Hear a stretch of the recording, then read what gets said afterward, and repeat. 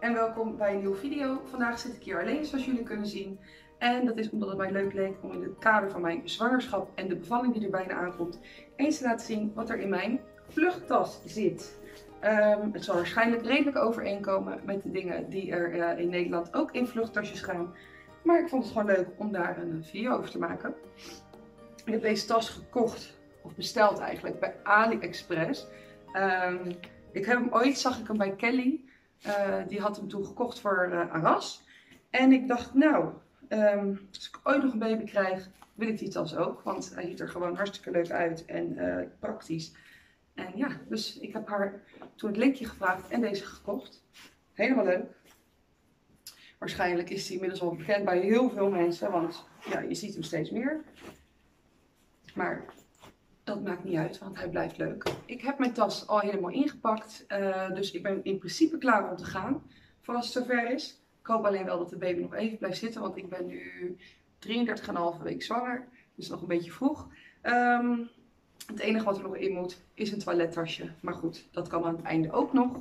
Dus laten we gewoon beginnen met wat er bovenop ligt. En dat zijn twee luiers. Die zijn voor mezelf.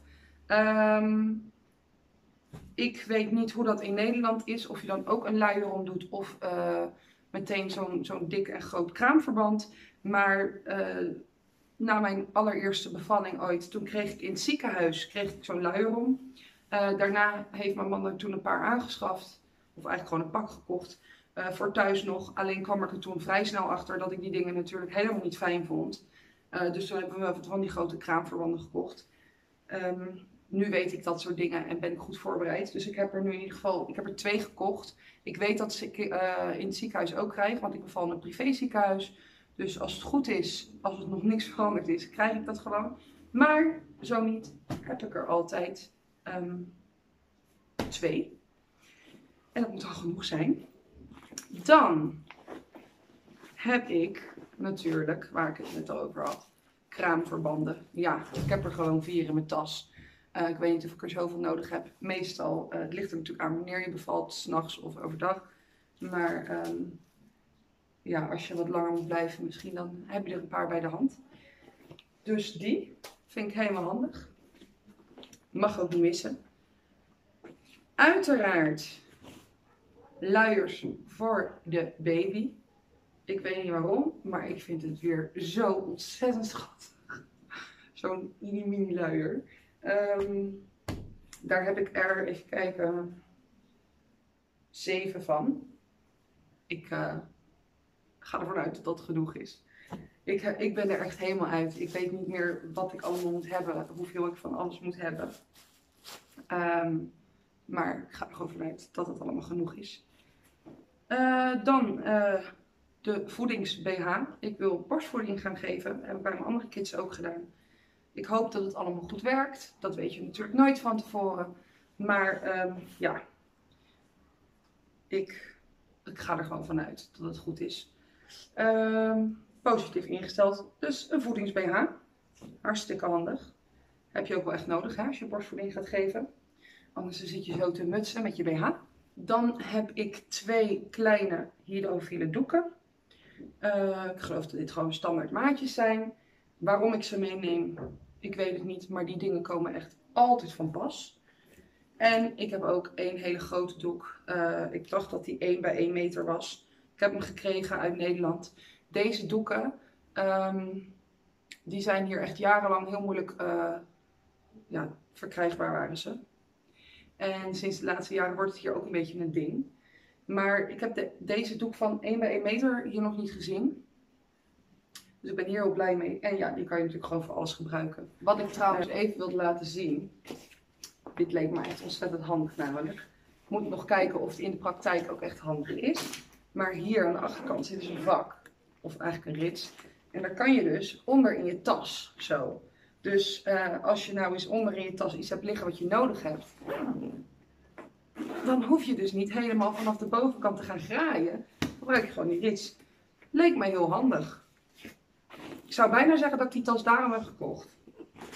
Nee, ik ben er echt wel blij mee. Uh, gaan we verder. Ik heb uh, twee of drie setjes geloof ik. Ik weet niet precies, moet even kijken. Of in ieder geval, ik had een extra romper erin gedaan. Ehm, bij mijn eerste dochter kocht ik echt eh, van die hele grote, ja dat zijn dan van die, van die ziekenhuissets, zeg maar. Allerlei dingetjes erin. Nou, die zijn hartstikke duur als je een beetje een leuke koopt. Eh, en nu dacht ik van nee, ik vind het echt onzin. Je, het wordt allemaal vies, allemaal gore melkvlekken en dingen erop. Soms krijg je het gewoon nooit meer schoon. Dus ik heb gewoon simpel setjes gekocht voor haar. Ehm, dit is een setje dat bestaat uit. Even kijken hoor. Nou, dit is gewoon een rompertje. Ik vind het niet per se een heel leuk rompertje, maar het gaat er toch onder. Maar het zat erbij. Dus ja, het staat Hello Bunny. Ik vind hem op zich wel schattig hoor. Maar het zou niet per se iets zijn wat ik uh, per se zou kopen. Maar toch, ik vind, ik vind het wel heel schattig. Uh, daar gaat dan dit overheen. Hier staat Mom's Little Bunny. Dit vond ik wel heel cute. En dan is het met zo'n um, zeg maar zo'n dingetje wat je kan openmaken. Dus je kan de baby er makkelijk in leggen. Je hoeft het niet over het hoofdje aan te trekken. Hartstikke handig voor het begin. En aan de mouwtjes zitten deze dingetjes. Zodat je dus meteen de handjes kan uh, verpakken. Dat is wel heel erg handig. En daarbij zit dit schattige sokkenbroekje. Uh, ja, gewoon een simpel setje. Super schattig. En niet te vergeten natuurlijk het mutsje. Ook helemaal leuk. En in principe is dit wat ze uh, als eerste aankrijgt. Dan heb ik um, nog een setje. Uh, dat is dan meer een... Dit is dan het rompertje. Ook met konijntjes. Ik weet niet wat het is, maar ik heb allemaal konijntjes. Ik vind konijns leuk. Ik hou ervan. En uh, ik heb daarbij dus nog een rompertje meegenomen. Ik weet niet waarom, maar het is altijd handig denk ik om nog een rompertje erin te doen. En dan met zo'n sokkenpakje. En dit mutsje. Dus dat zou ze eventueel ook aan kunnen. Als eerste setje is eigenlijk ook heel schattig. Maakt niet veel uit. Je moet natuurlijk altijd iets extra's meenemen. Want uh, ja, het wordt vast allemaal vies. Dus dat is het tweede setje. En ik heb helemaal geen drie setjes. Ik heb gewoon twee setjes. En dat moet genoeg zijn.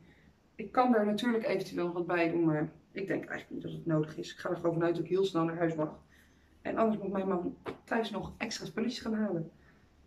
Dus uh, dit zijn de setjes. Dan heb ik voor mezelf deze geweldige onderbroeken. Echt enorm sexy. Maar ja, daar moet natuurlijk een luier onder. Uh, misschien in het begin, want ik neem wel aan, ik weet niet of het nou nog lekker zit, alleen zo'n luier en dan niets eroverheen. ze zijn wel heel erg groot zo. Maar ze zitten echt ontzettend lekker. Uh, dus goed voor de kraanverbanden. Daar heb ik er drie van. Waarom laat ik dit zien? Ik weet het niet. Hè, dan kunnen jullie zien wat ik aan ga trekken. Drie hele mooie, sexy onderbroeken. En voor mezelf, uiteraard, pyjama's. Um, ik ben echt iemand die gewoon maar wat aantrekt, altijd s'nachts. Maar hiervoor, oh lekker gekreukeld ook. Hiervoor heb ik even speciaal twee nieuwe pyjama's aangeschaft. Want ik wil er nog wel een beetje fatsoenlijk bij liggen daarna. Dus dit is gewoon een simpel shirtje met, ja, dit zijn floddermouwtjes. Maar het is zo gekreukeld. Het is echt kreukelspul. En daarbij hoort dit hele leuke broekje. Het lijkt allemaal ontzettend groot. Het is ook gewoon groot. Maar ja, ik ben ook gewoon groot. En uh, ben ook best wel aardig aangekomen. Dus ja, nou maatje S te kopen. Het is wel een beetje voorbarig, hè? En dan deze pyjama. Gewoon lekker simpel. Met dit broekje met hele schattige ananasjes erop.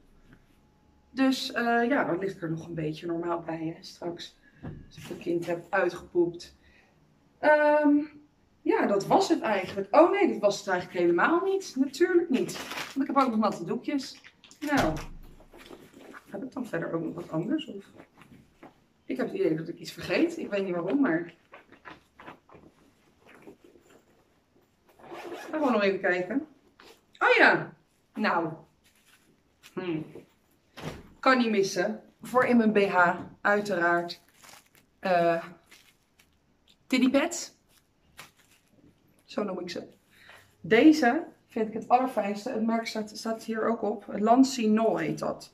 Ik heb altijd dit merk gebruikt, omdat ik ervaarde dat dat het beste bleef zitten. Dus die heb ik nu weer gekocht. Ik had van Kelly al een keer wat dingetjes gekregen.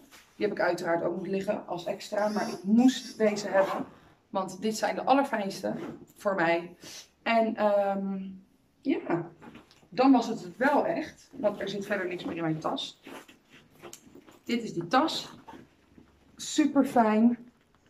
En het blijft mooi openstaan. Veel vakken erin. Ik ben er echt, uh, ik ben er echt heel blij mee. Voorkant. Dus meer kan ik er niet van maken. Tenzij jij uh, misschien wel een hele goede tip voor mij hebt. Uh, misschien zeg je wel van, joh Mel, dat moet je echt in je tas stoppen. Dat is super handig. Kan niet missen. Dan hoor ik dat natuurlijk graag. Uh, maar voor nu denk ik dat ik er helemaal klaar voor ben. De tas is klaar. Ik ben er klaar voor. we zijn er thuis klaar voor. Alleen de beek moet nog even blijven zitten. Want het is nog een beetje vroeg.